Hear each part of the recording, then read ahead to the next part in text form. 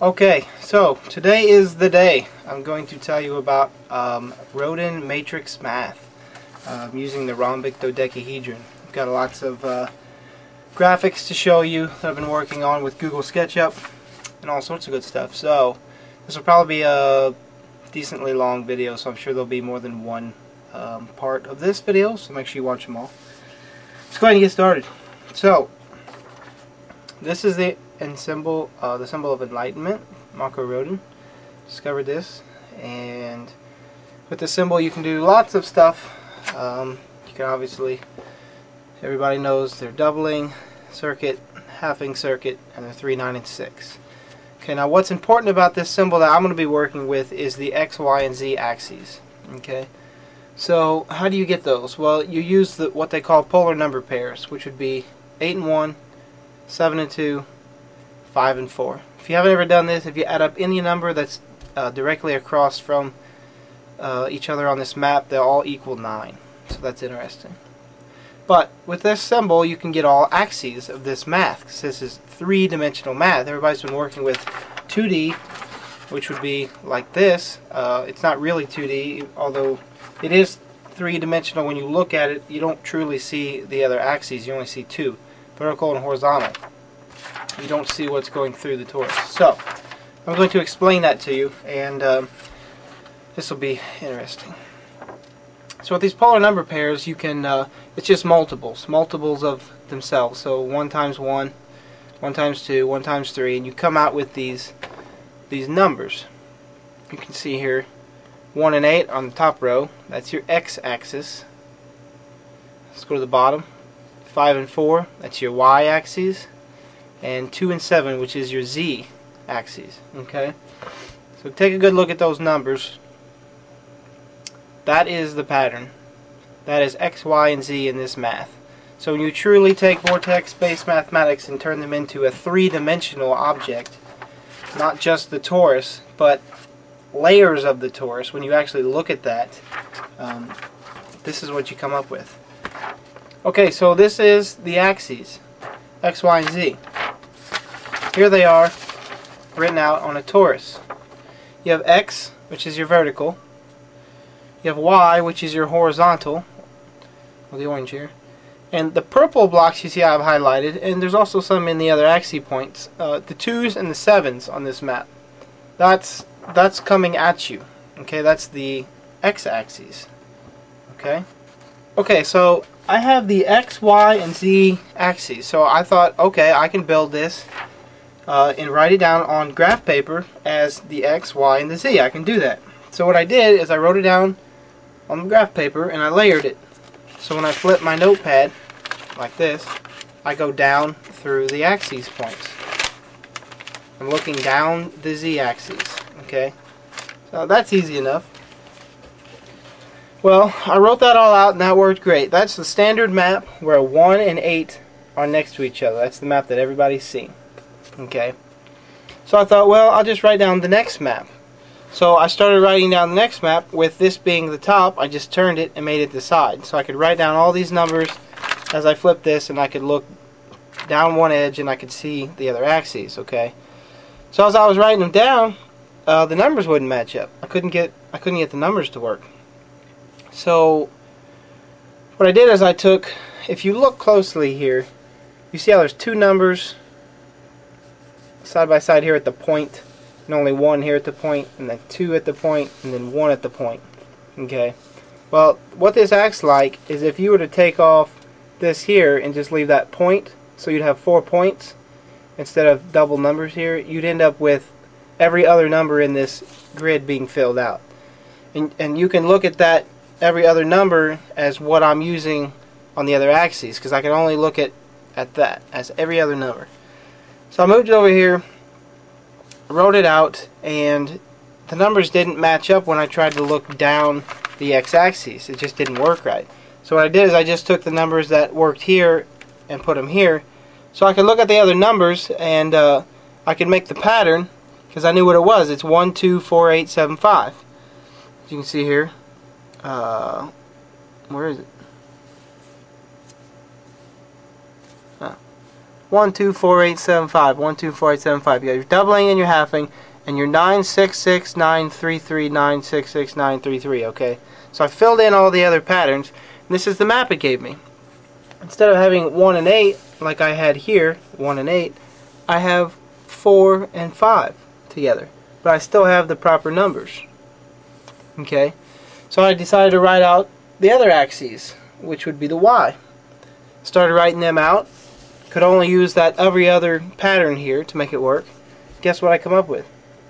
Fours, uh, I'm sorry, twos and sevens are next to each other. So you have three maps, and as you look down through the layers, the maps just move.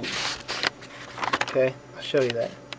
First map, just looking down the z-axis. Second map, third map, fourth map, fifth map, and so on. Okay. So something was a little fishy about this that I could not figure out where my other numbers went. I could not figure it out. So that's when I started to look at the rhombic dodecahedron, which Greg Volk talks about. Um, now, all the information I'm going to be telling you in the beginning of this video about the rhombic dodecahedron and um, how it kind of fits together, um, I believe Marko Rodin and Greg Volk, uh, those two have been working on this. I'm sure there's others also. But those are the, the main people, and I believe Greg Volk figured out that the matrix is made of rhombic dodecahedrons. So what is a rhombic dodecahedron? Okay, I'm going to show you something really cool that you can do with this shape. So here we go. Okay, what does that look like? Looks like a square, right? Well, from this perspective it does, but if I were to turn it, it's actually not a square. See that? If I were to turn it again, it looks nothing like a square. If you hold it just right, it actually looks just like a diamond. There's a diamond. Okay. This diamond shape that you see right there, when you look at it at this perspective, that's what you see as a number. So, one number on here is what that looks like. A diamond however that is. Okay? So this is a rhombic dodecahedron, and um, each one of these numbers on this grid, it's a, it's a diamond, if you looked at it in the proper sense. Each one of those is this right here. That's a diamond. Well, I couldn't figure out where those other numbers went, and when I looked at this, uh, I still couldn't figure it out. So what I did was, uh, got on Google SketchUp, made me a rhombic dodecahedron, which I'll show you how to do. And um, that's when I actually discovered where the numbers went and where they are. So I will show you that now. I'm going to show you what a rhombic dodecahedron is and um, how to build one. It's actually two squares. Uh, it's hard to see on here. I'll show it on my computer. Alright, here we go. Fun starts now. Okay, so this is a rhombic dodecahedron. Okay, that's what it looks like. It's an interesting shape. You can make them on paper, with paper, which is pretty cool. Okay, so I'm going to show you how this is two squares. Oops.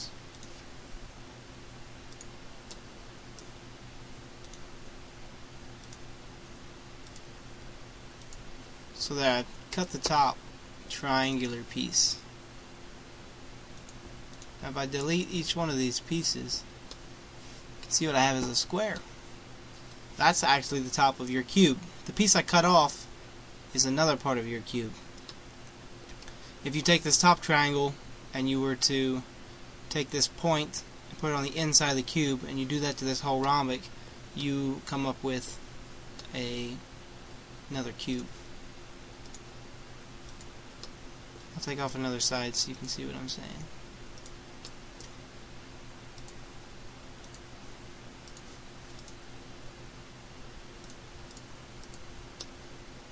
You can see how that forms. That's going to be a cube. Okay. So, that's what a rhombic dodecahedron looks like and, a, and, and the cube within it.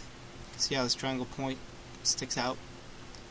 So, alright, so here are my numbers 1 through 9 that I'm going to be using for my structures. So you can see the numbers follow me. Uh, if I go up like this, the numbers don't follow me. I haven't figured out why, how to fix that. That's fine. Follow for this way. Uh, the white numbers here are positive and the black ones are going to be negative. So that's what one rhombic, clear rhombic looks like.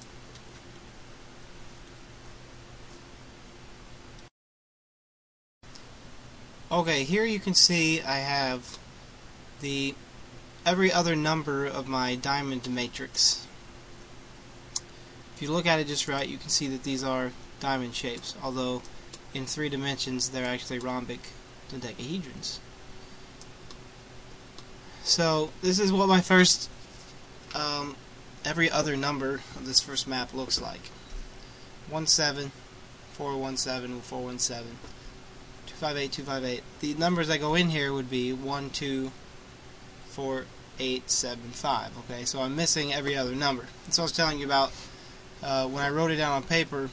When I will look down another axis, I was having a hard time figuring it out because it's if you look at it with every other number, it fits perfect. It's it's acting as a square. If I were to put a square here and I would turn it and I'd put a square here, it would match. But since they're a different shape, they don't match up just quite right.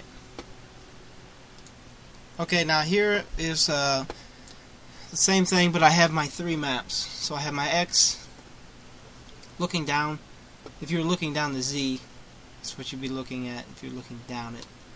If you're looking down the Y, this is what you'd see. And if you were looking down the Z, I'm sorry, the X, this is what you'd look, that's what you'd be seeing.